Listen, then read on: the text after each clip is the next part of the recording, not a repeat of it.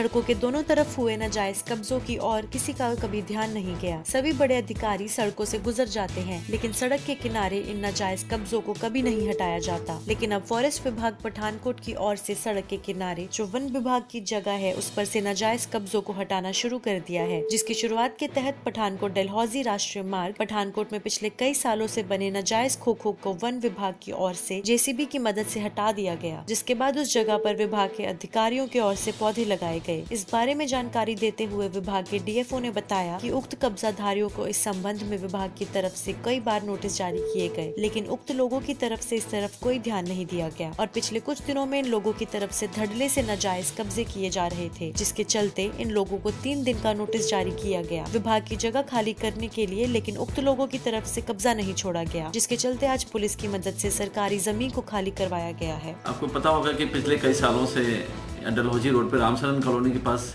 काफ़ी एक taxi stand था और जिस पे इलीगली उन्होंने फॉरेस्ट लैंड पे कब्जा करके खोखे बनाए हुए थे। डिपार्टमेंट वालों खाली कराने के लिए काफ़ी प्रयास किए गए थे पहले, लेकिन उस पर कोई अमल उन्होंने किया नहीं। और इसके अलावा वो नए नए ही दिन प्रतिदिन और और खोखे बनाए जा रहे थे। हमने दो तीन नोटिस भी भेजा था, कुछ वायलेशन के लिए कुछ कार्रवाई भी किया था, लेकिन फिर भी वो माने नहीं।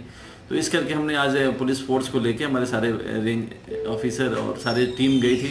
और उसको सारे को इंक्रोचमेंट जो भी था इंक्रोचमेंट हटा के वहाँ पे हमने प्लांटेशन करा दिया है। और हमें आगे फर्दर ये है कि उसको, उस एरिया को फेंसिंग करके और वहाँ पे एक पार्क टाइप बना दिया जाए, ताकि लोकल भी वहाँ पे घूमने के लिए उसको जगह मिल सके। पठानकोट से अश्वनी भागत की रिपोर्ट